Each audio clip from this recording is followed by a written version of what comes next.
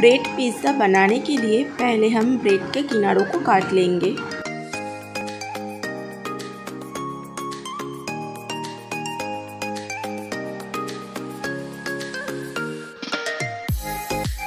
अब हम एक ब्रेड को दो हिस्सों में कट कर लेंगे।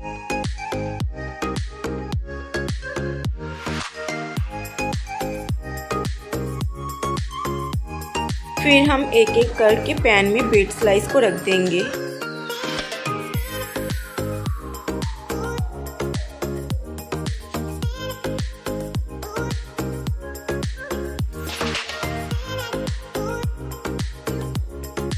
अब हम ऊपर से चीज़ डाल देंगे।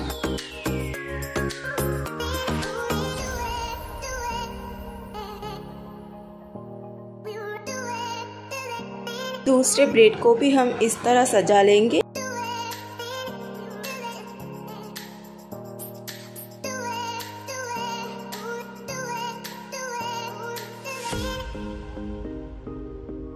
और इसके ऊपर पिज़्ज़ा सॉस डाल देंगे। सॉस को अच्छे से ब्रेड में स्प्रेड कर लेंगे।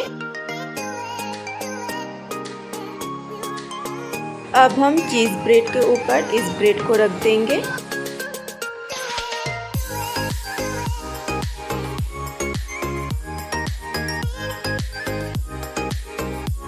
ऊपर से थोड़ा चीज़ डाल देंगे।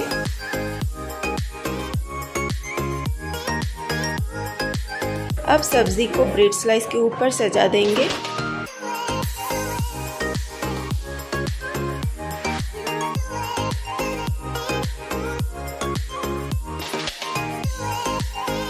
थोड़ा चिली फ्लेक्स ऊपर से स्प्रिंकल कर देंगे।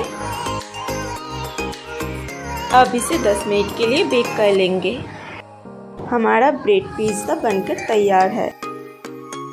Thanks for watching